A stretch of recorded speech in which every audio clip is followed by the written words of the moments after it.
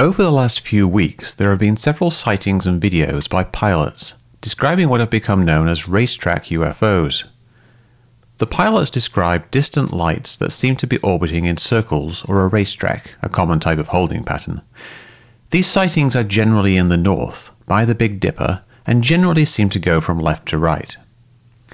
Multiple people have determined that the most likely explanation for these is Starlink satellites, simply because the lights don't go in circles or a racetrack, they go in a perfectly straight line. They are also in the same place in the sky as some matching Starlink satellites, flying in the same direction and at the same speed. The most common objection to this is that the pilots say they were not Starlink satellites. Well, I even think that even satellites, if they were even geosynchronous, geosynchronous, they they're not going to sit there and do 360s in a circle. There's, that's not going to happen. They're not going to be doing this this orbit that that you, I saw some of the videos you posted. There's no way those are satellites. It's impossible. They are half right in that it's not the common string of bright lights that we usually think of when we get UFO reports that turn out to be Starlink. Those are Starlinks just after launch.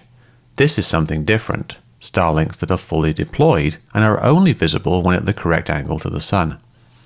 Combined with the illusion of circling, it's quite understandable that the pilots would say that these are not the Starlink satellites they are used to. How can we tell it's not circling? Well, take the video and stabilize it, then composite a frame every few seconds. Look at the spacing between the positions. It's the same. If it were going in a racetrack or a circle, it would slow down as it approached the end of the circuit, like with this light on a bicycle wheel. Instead, it's perfectly evenly spaced. What's happening is the satellite is reflecting the sun for a few seconds, like how you might see the sun reflecting off a passing car window or a plane like this one. This is called a satellite flare. Not a flare in the sense of bright burning chemicals, but a flare in that it flares up in brightness and then dims. Another thing that indicates a satellite is the colors seen in some videos. Mostly white, it flashes red and blue just like bright stars do near the horizon. Here's Sirius, for example. This is due to atmospheric distortion and indicates it's a long way away, maybe in space. Why Starlink particularly? Well, there's a lot more Starlink in the sky now. Metabunk user Flarkey showed us how to use in-the-sky.org to display them to match the video. Click on Spacecraft, then Satellites in Your Sky, then go to Planetarium View. Scroll down and turn on the bright satellites, including Starlink.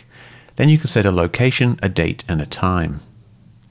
Let's look at the MUFON report, number 124374. We've got the location, we know the date and time, plug that all in. Look over at the Big Dipper and we'll see Starlink satellites in that location, moving in the same direction as the lights and at the same speed that we see on the video. If a satellite is shown in red, that means it's illuminated by the sun and so will flare when at the right position and angle.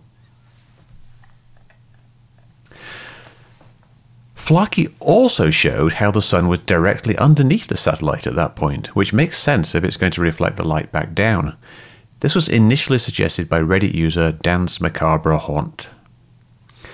Flarkey then did this with all the other videos where we have good time and location data. In each one, we found the same things. The lights were going in straight lines, not racetracks, and there were always Starlink satellites in that location, going in the right direction, opposite the sun, and moving at the right speed. So it seems very likely that all the lights seen on these racetrack videos were Starlink satellites. Now, there are some eyewitness accounts that don't fit. But the pilots have already made the understandable mistake of thinking something moving in a straight line was moving in a circle. So maybe there were other understandable mistakes.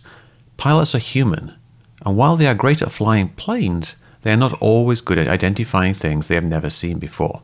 But really, who is? Once everyone realizes these are probably Starlinks, this whole flap will be reframed as an example of how we need to remove the stigma of reporting UFOs, an issue of flight safety. That's fine. And I'm in favor of removing the stigma. If somebody sees something odd that they can't identify, then they should report it. But we also want to avoid false positives. We don't want Starlink flares to be reported dozen times a day for years. So we also need some good information from the FAA on how to identify when you're looking at something like this. That way we can weed out the things that are just noise.